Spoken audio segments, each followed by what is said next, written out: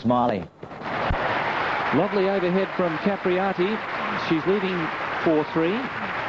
But it's Yi now, 30-15 on serve, but a very difficult opponent for Jennifer. Well, I spoke with Jennifer Capriati before she came out here, and she told me that she knew nothing about this girl, had never played her before, and then I looked up in my notes, and apparently ha they have played before.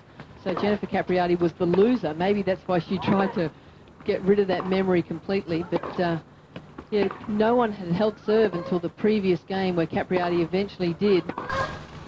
Had six breaks of serve in a row. Chinese lady has terrific power in her ground strokes. A weak serve. Is a wild card entry into this year's Australian Open. It has done well to win two rounds so far. Yes, well, she beat Capriati in the first round of the 1996 French Open. Jennifer doesn't remember it, so she's erased that. Probably a good idea. 40-15 now for Yi, who's poised to hold serve for the first time in the match. She trails 3-4.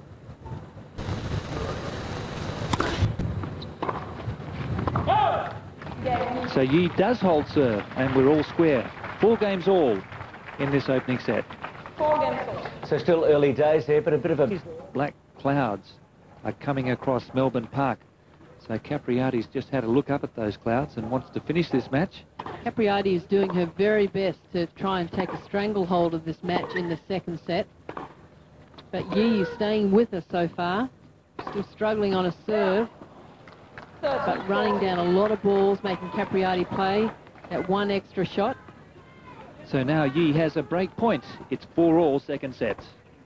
So it's pretty tough. Yi, who's done very well. It's been a competitive match. But Capriati with a chance to go through to the round of 16. And that's long, so Capriati's 6-4, 6-4. She'll play the winner of Schnyder and Petrova, which is currently into the third set. So she's having a bit of a run now. Jennifer Capriati, big favourite here, looks happy. It's great to see her playing some very good tennis at 23 years of age. Back to